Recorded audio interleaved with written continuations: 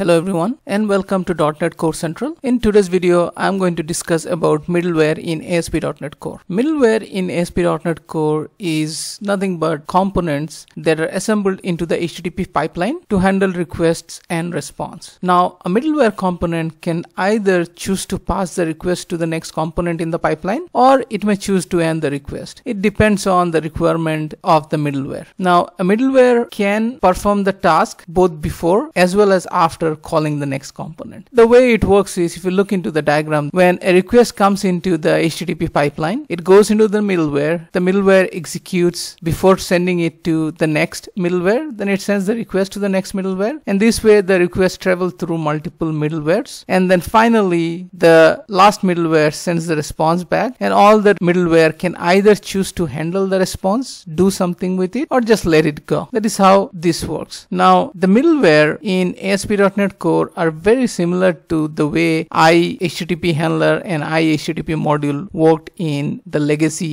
ASP.NET application. Now, the only difference is iHTTP handler was the last endpoint at the HTTP pipeline, whereas iHTTP module were more like filter through the pipeline. The middleware in ASP.NET Core works as both. It can either work as like iHTTP module, meaning the request can go and come back and it doesn't end the request, meaning it is not acting as the last endpoint of the middleware chain, or it might choose to decide the endpoint of a middleware chain. Now I'm going to show how this works. Now the middleware functionality are achieved using two ways. One is there are out of box extension methods on iApplication Builder which can be used for creating middleware and those methods are there are mainly three kinds of method. One is a run, the second one is use and the third one is map and I'm going to go through all of them one by one and the other way is to write own custom middleware and I'm going to show that as well. So to do that let's start with ASP.NET Core application. Now I'm I'm going to create a new ASP.NET Core web application and I'm going to name it as middleware.demo and I'm going to go ahead keep ASP.NET Core 3.1 and I'm just going to create an empty project. Now once the project is created I'm going to keep the main method as is because we are not doing anything here. Now in the startup what I'm going to do is I'm going to get rid of all this code because I'm not using any routing nothing. We're going to start with base middleware. So let's say we also don't need the i host environment so I'm just going to get rid of it. So first thing we can do is we can do app.run and if you look into the definition of run, it says it adds a terminal middleware delegate to an application requests pipeline, meaning nothing will go beyond this point. Once this middleware is hit, anything below this middleware will never be executed. And I'm going to show it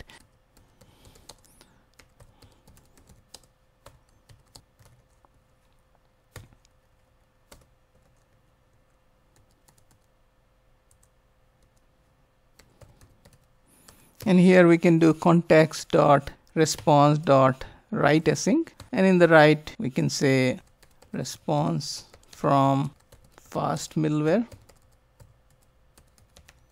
and then we can write another app dot run. And I'll just copy paste the same thing.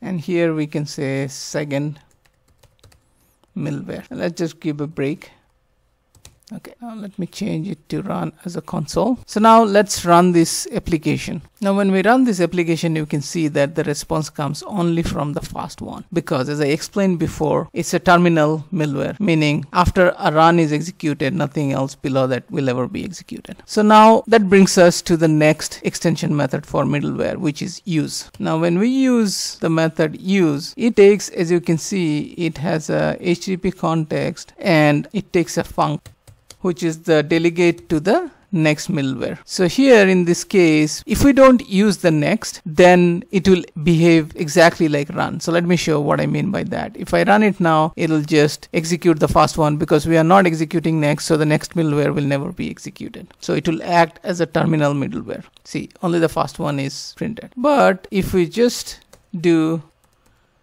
eh, await next now what will happen is after it executes the first one, it will execute the next one also. And as you can see, it executed the first one and then the second one. So let me do one thing. Let me just give here HTML body and let's close the HTML here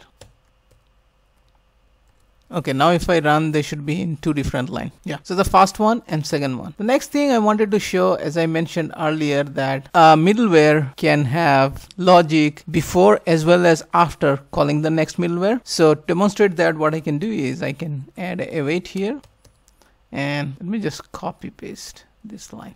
And here what I can do is I can leave this as is and this the after code can act as a and for the fast middleware as well as the closing for HTML and the body.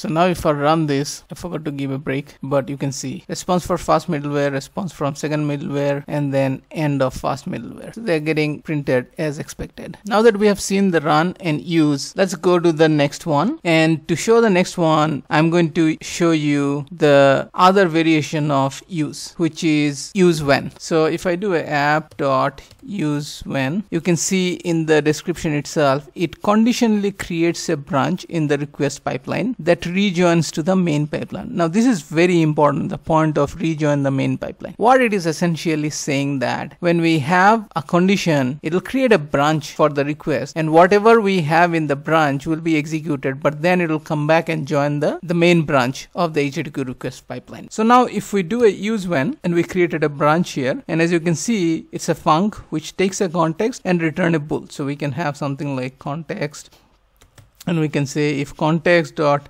request.query string contains a key. Let's say the key is role.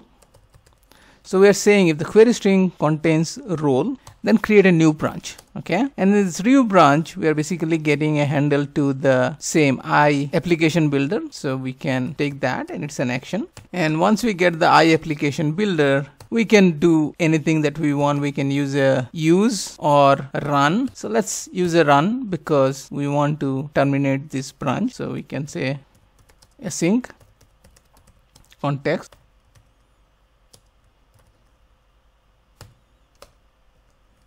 And here we can have we can just copy paste one of this line. And here we can say role is let's break this one also. So you can say role is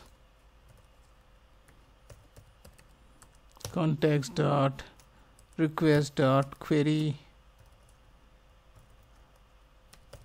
Role and that's about it. So now if I run and if I add a query string here role equal to admin now you can see it did the fast middleware then it did the role as admin and because this is a terminal middleware then it is just going to go back to the fast middleware and print the end which is an expected behavior. So that's with use when. The next one i wanted to show is map. So for map as the name suggests it basically maps to a path. So you can see it creates a branch for the request pipeline which matches the path. So now we can have let's say it maps to map. And then again just like before with use when it gets a i application builder.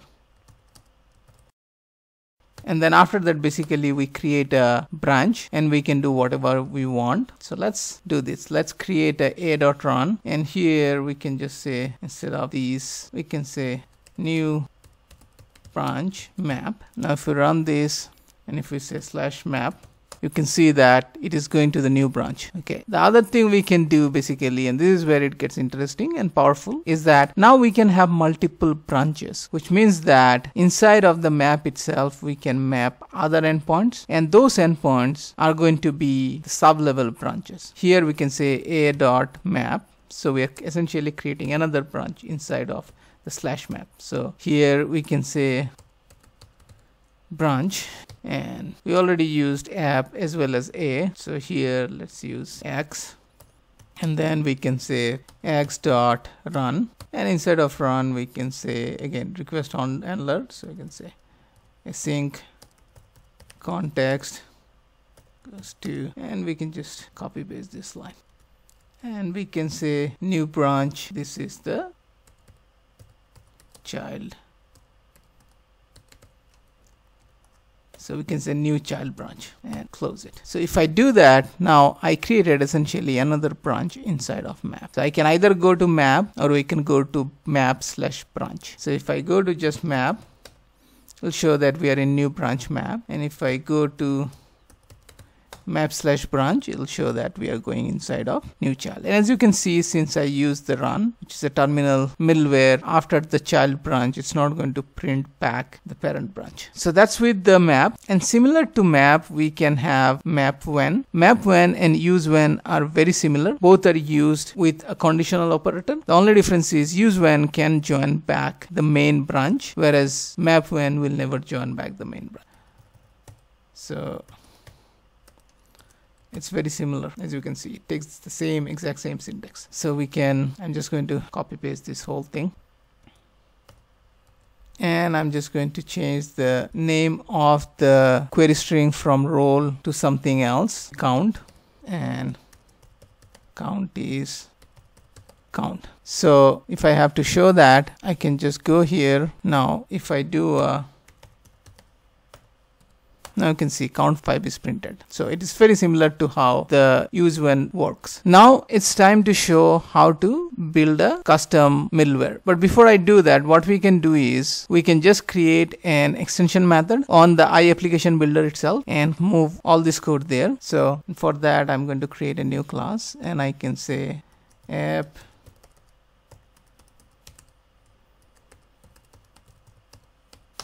middleware extensions. And inside of that I can fast create my extension method. I can say public static. Let's make this class also static. Void add. Just for the proper naming convention I'm just going to say use extensions. These I application builder app and then what I can do is I can just copy paste all this code here.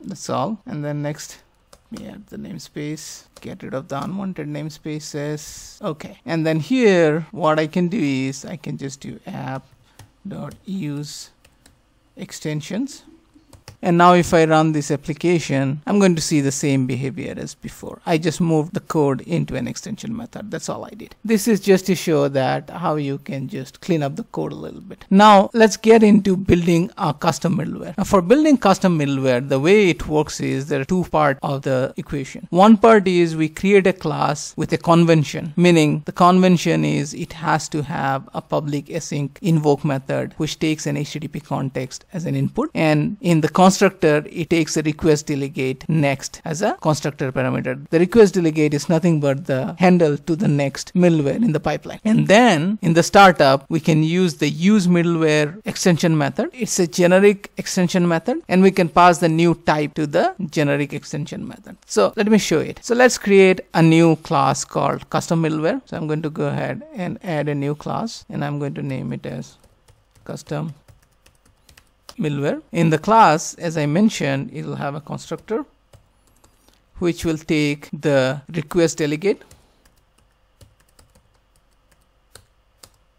Next as the next endpoint and I can just create it as a local variable to the class and the next thing is I'm going to have a public async task invoke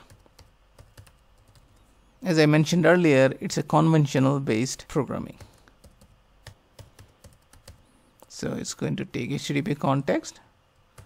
And then here, now that we have HTTP context, we can do whatever we want with the context. So just for simplicity, we can have await http context dot response dot write async and we can write something here so we can say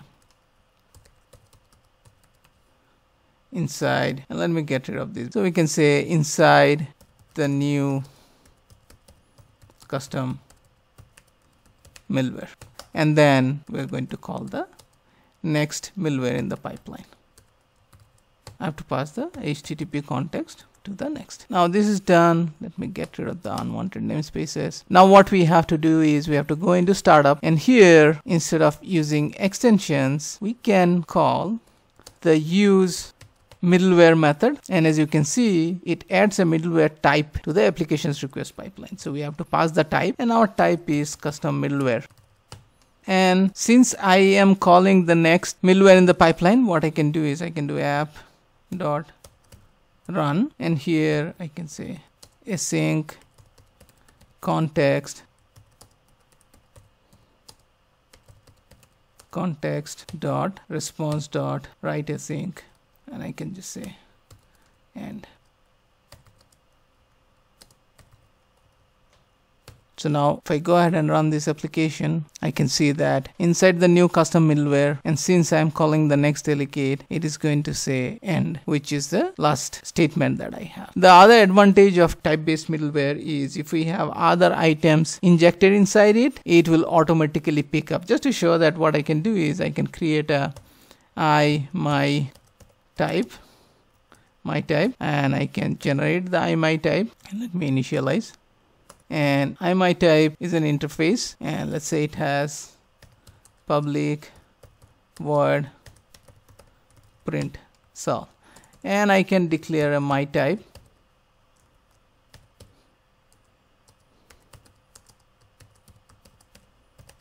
Which implements IMyType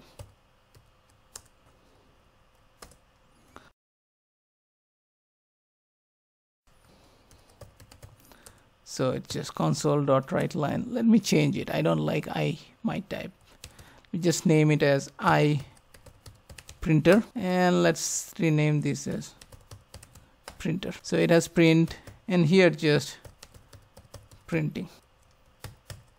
So now here we have iPrinter and we can change this printer. Let's change this also. And here we can just say just say printer dot print. And then what we can do is we can go back to startup and here we can say services dot add singleton and we can say i printer printer that's all. And now if I run this application, what is going to happen is the new class that I created, it will get an handle off and see it is printing. Now it is printing twice because it's a print statement. So it will execute both the time while coming in as well as going out. That's about it. So that's the main advantage of using a custom middleware as a class is that if we have a lot of logic, we obviously don't want to put all the logic inside of this class. So we can have multiple interfaces and we can inject them and then we can use it inside of the invoke method to do some custom logic. So I guess that's all I wanted to cover today. I'm hoping that it covers most of the fundamentals of middleware. If you like this video, please give me a thumbs up. And if you are not subscribed to my channel and you think you are getting value out of my channel, please subscribe subscribe to my channel and thank you very much for watching this video